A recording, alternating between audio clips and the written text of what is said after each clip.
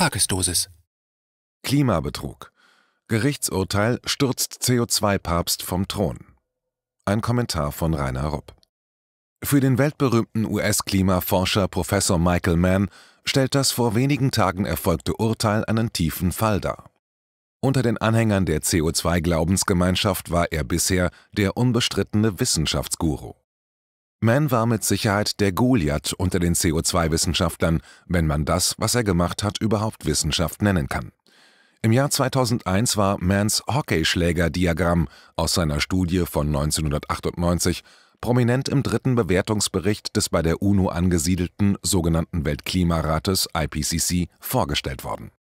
In dem IPCC-Bericht waren Manns Forschungsergebnisse, die man angesichts des aktuellen Gerichtsurteils gegen ihn nur noch in Anführungszeichen setzen kann, als wegweisend aufgenommen worden, wenig später wurden sie vom IPCC auf das Podest der unumstößlichen Wahrheit gehoben und von der CO2-Glaubensgemeinschaft ähnlich aufgenommen wie ein Ex-Cathedra-Urteil des Papstes von tief religiösen Katholiken.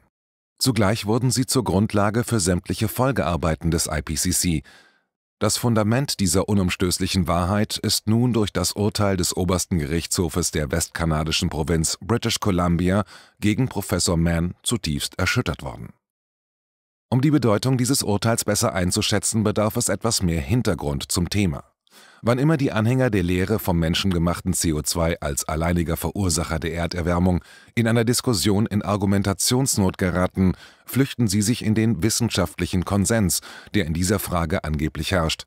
Diese Behauptung stimmt zwar nicht, weil auch dieser Konsens nur das Ergebnis von inzwischen belegten statistischen Manipulationen ist, aber die eigentliche Kritik muss sich hier gegen die totale Unwissenschaftlichkeit einer solchen Behauptung richten denn Wissenschaft ist keine Sache des Konsenses.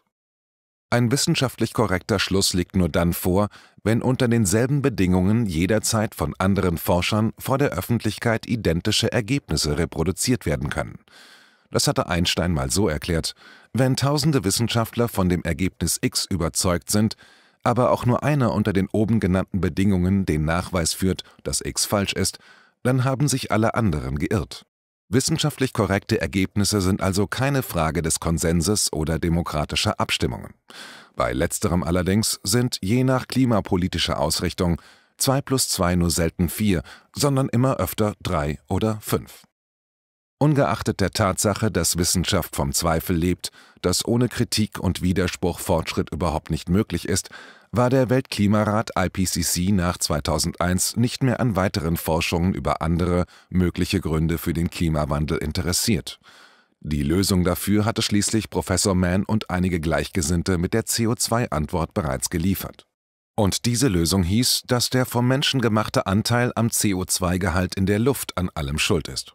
Dabei beträgt der CO2-Anteil in der Luft etwa 0,04 Prozent und das vom Menschen gemachte CO2 ist gerade mal 0,038 Prozent der gesamten CO2. Das heißt, in 10.000 Einheiten Luft gibt es gerade mal 15 Einheiten vom Menschen gemachtes CO2. Und wenn der Anteil nun auf das Doppelte, also etwa 30 Zehntausendstel ansteigen würde, dann wäre es laut der CO2-Weltuntergangspropheten das absolute Desaster. Nachdem der Weltklimarat 2001 diese unverrückbare Wahrheit etabliert hatte, hat er sich seither nur noch mit Umweltstudien beschäftigt, zum Beispiel welche soziologischen oder wirtschaftlichen Wirkungen die angeblich vom Menschen gemachte Klimaerwärmung auf bestimmte Regionen in unterschiedlichen Ländern der Welt haben könnte. Übrigens, die Vorsitzenden des Weltklimarates waren bisher stets Ökonomen und nicht Naturwissenschaftler. Das könnte mit erklären, warum eine nach allen Richtungen offene Klimaforschung im eigentlichen Sinne des Wortes vom IPCC seit 2001 nicht mehr betrieben wird. Umso mehr wuchs unter Klimaexperten die massive Kritik an Professor Manns CO2-Hockeyschläger und an der Politik des IPCC. In den etablierten Medien erfuhr man davon aber nichts, denn die Kritiker fanden weder unter Politikern noch in der Bevölkerung Gehör. Vor allem die Masse der einfachen Menschen soll weiterhin mit CO2-Weltuntergangsszenarien für mehr finanzielle Opfer in Form von Abgaben und Steuern weichgeklopft werden. So wurde der Glauben an die vom Menschen gemachte katastrophale Erderwärmung zur weithin akzeptierten Tatsache. All das könnte sich mit dem Urteil des kanadischen Gerichtes ändern. Aber worum geht es da eigentlich? Es fing mit einer recht harmlosen Klage wegen Beleidigung und übler Nachrede an, allerdings mit einem Streitwert von mehreren Millionen Dollar. Kläger war der weltberühmte Erfinder des Hockeyschlägerdiagramms Professor Mann von der staatlichen Kent State University und der Beklagte war der international bekannte Klimaforscher Dr. Tim Ball, vormals Professor am Geography Department der Universität Winnipeg und weltbekannter Kritiker des Hockeyschlägers. Die Klage geht auf den 25. März 2011 zurück. Über einige juristische Zwischenstationen ist sie schließlich beim obersten Gerichtshof gelandet. Anlass war ein Interview, das Professor Ball einem kanadischen Magazin gegeben hatte. Aus der Anklageschrift geht hervor, dass Dr. Ball in einem Interview zum Climategate-Skandal von 2009 die angebliche Beleidigung ausgesprochen habe. Mit Climategate sind die damals gehackten E-Mails der führenden Klimaforscher gemeint, aus denen hervorging, wie sich die beim IPCC einflussreichsten Wissenschaftler untereinander darüber abstimmten, mit welchen statistischen Anpassungen, mit welchen speziell getrimmten Computermodellen und welchen anderen Tricks die Daten manipuliert werden sollen, um zu den gewünschten Ergebnissen zu kommen. Aus manchen Mails geht sogar hervor, wie verzweifelt Forscher waren, wenn die tatsächlich gemessenen rohen Klimawerte sich einfach nicht in das vorherbestimmte Ergebnis einfügen ließen.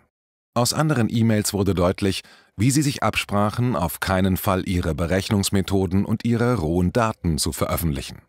Und ein weiterer Block von E-Mails zeigte, mit welchen Methoden sie systematisch auf Medien und vor allem auf wissenschaftliche Zeitschriften eingewirkt haben, nur ja keinen CO2-kritischen Wissenschaftlern eine Plattform für ihre Sicht der Dinge zu geben. Bei Zuwiderhandlung würde niemand aus dem Kreis der Erleuchteten, nämlich der IPCC-akkreditierten CO2-Wissenschaftler, diesen Medien für weitere Interviews zur Verfügung stehen. Bereits im Jahr 2003 hatte eine Studie der kanadischen University of Guelph in Ontario gezeigt, dass das Hockeyschlägerdiagramm von Professor Mann, Zitat, in erster Linie ein Artefakt des schlechten Datenhandlings, veralteter Daten und falscher Berechnungen der Hauptkomponenten ist. Zitat Ende.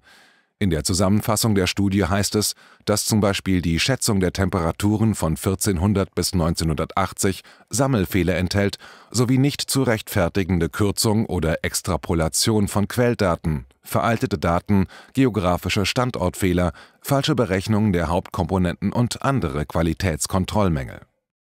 Nach der Fehlerberichtigung und unter Verwendung aktuellerer Daten ergab sich dann ein ganz anderes Bild für den Durchschnittstemperaturindex der nördlichen Hemisphäre, speziell für den Zeitraum von 1400 bis 1980. Das wichtigste Ergebnis der Studie war, dass der Hockeyschläger von Professor Mann verschwand.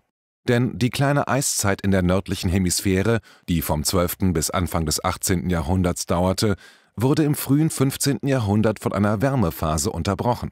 In dieser Periode lagen die Hitzewerte weit über den Ergebnissen des 20. Jahrhunderts. Und das geschah alles ohne vom Menschen gemachtes CO2. Was sich damals nach Bekanntwerden der E-Mails und ihrer Echtheitsverifizierung als Riesenskandal abzeichnete, wurde von den Medien in relativ kurzer Zeit im Gedächtnisloch entsorgt.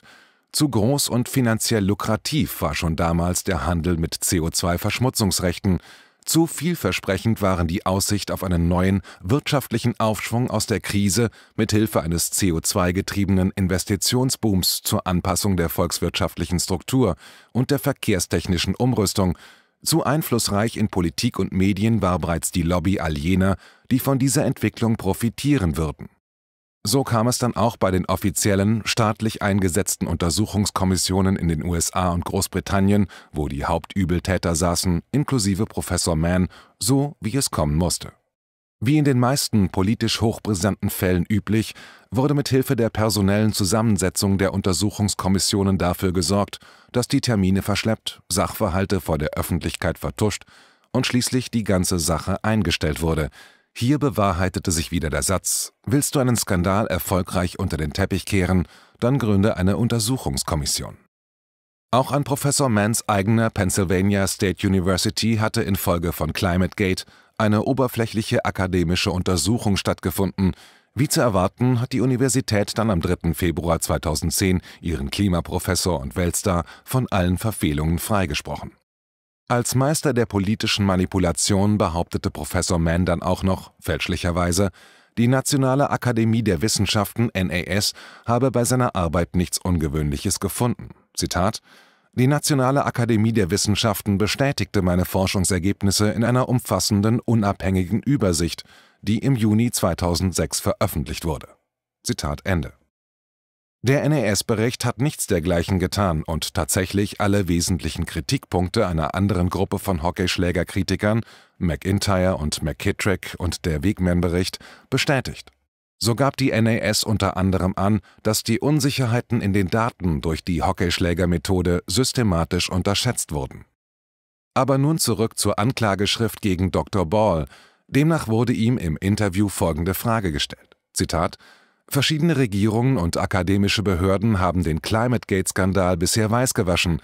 Glauben Sie, dass noch irgendjemand wegen Betrugs strafrechtlich zur Verantwortung gezogen wird? Zitat Ende. Darauf folgte Dr. Balls Antwort mit der Passage, die seinen Widersacher Dr. Mann dazu veranlasste, Anzeige zu erstatten. Zitat Unter den Generalstaatsanwälten der US-Bundesstaaten gibt es Bewegung, um die Strafverfolgung in Gang zu bringen. Zum Beispiel Michael Mann vom Penn State University sollte im State Penn im Staatsgefängnis sitzen und nicht in der Penn State Uni. Auch in England gibt es Untersuchungen, die durch drei Dinge ausgelöst wurden. Erstens die Informationen, die diese E-Mails enthielten.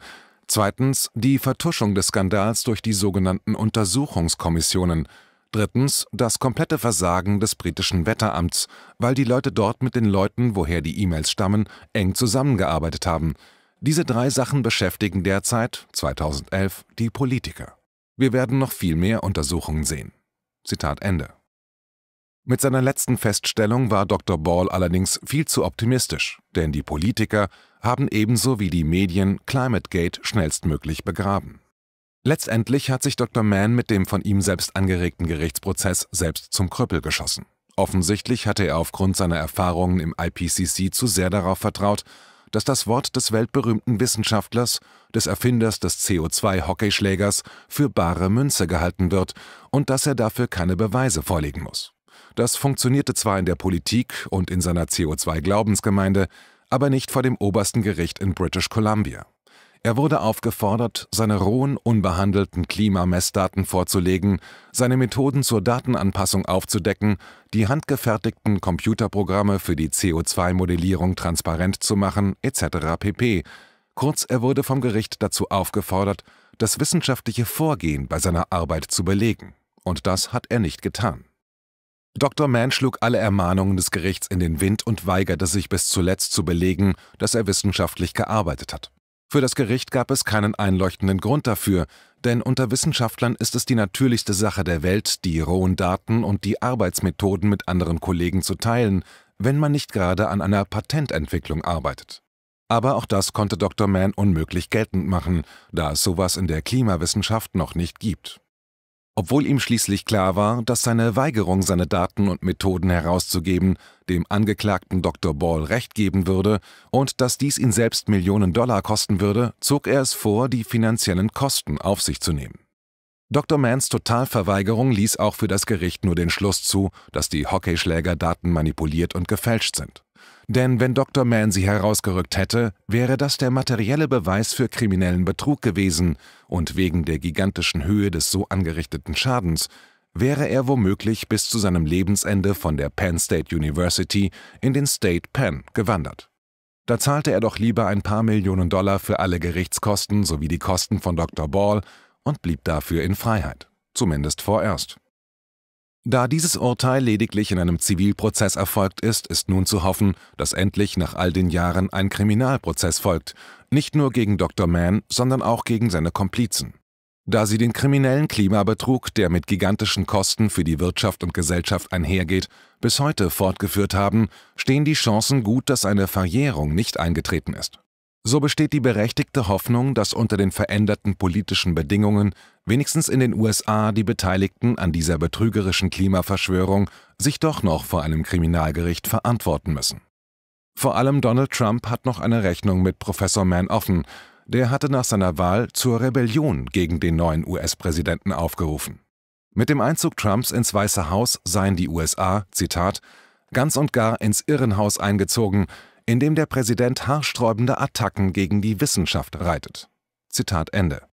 Inzwischen gibt es bereits Anzeichen, dass Präsident Trump eine kriminelle Untersuchung gegen den nicht länger weltweit führenden Wissenschaftler des Klimawandels einleiten will. In der Tat haben sich nicht nur die Mainstream-Medien, sondern viele hunderte nachfolgende Klimastudien auf Manns Ergebnisse blind verlassen. Der Ruf von Mann war derart, dass die meisten Klimaforscher nur seine und keine andere Grafik akzeptierten, ein typisches Beispiel für das Gruppendenken, Groupthink, bzw. für den oft zitierten Klimakonsens. Dr. Ball warnt seit langen Jahren davor, dass, wenn die Welt hinter die Geheimnistuerei von Professor Mann und seinen Komplizen schauen dürfte, sie schockiert sein würde, wie korrupt und eigennützig diese Wissenschaftler sind, die an der Spitze der Fake-Kampagne von der menschengemachten globalen Erwärmung stehen